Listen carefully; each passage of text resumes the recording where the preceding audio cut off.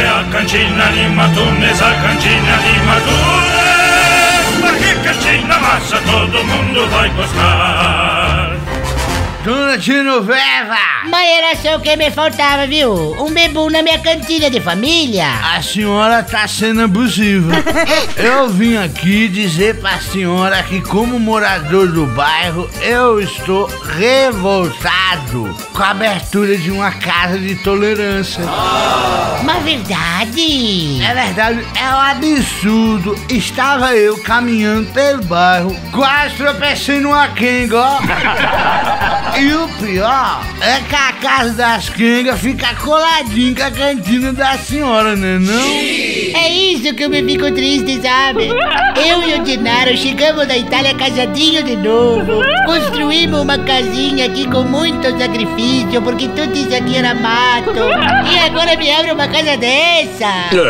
É difícil mesmo. Agora, putz, eu tenho só um pouquinho de dinheiro que eu tenho que comprar o leitinho pro meu sobrinho e tava doido pra tomar um vinho aí, oi, oi, oi. Não me tem problema, toma e me paga depois.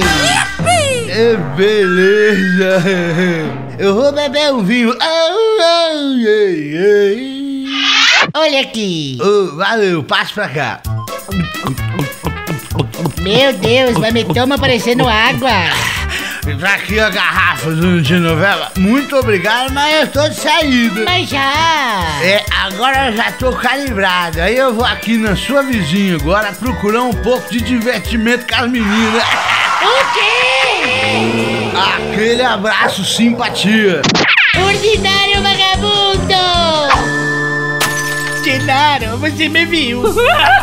Eu me fui persuadido. É que fala? Persua, persuadida. Genaro, a casa das Kenga enche mais do que a cantina, Genaro. Mas como me tem pessoas sem moral, viu?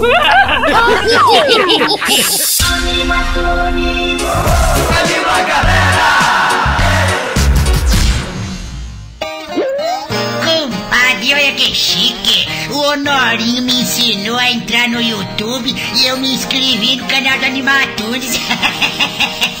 Mas você me ensina? claro, compadre. E você que tá assistindo, se inscreve também. É só clicar aqui, isso.